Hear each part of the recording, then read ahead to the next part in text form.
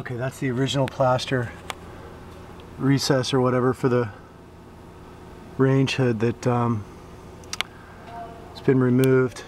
I, I think this is asbestos. Um, this fan is not ducted to the exterior knob and tube in the insulation. Some fiberglass bad insulation.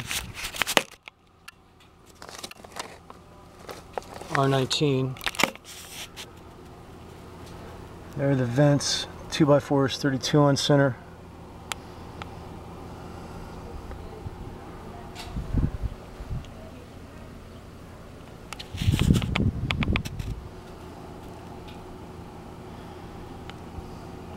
Two by four, 16 on center.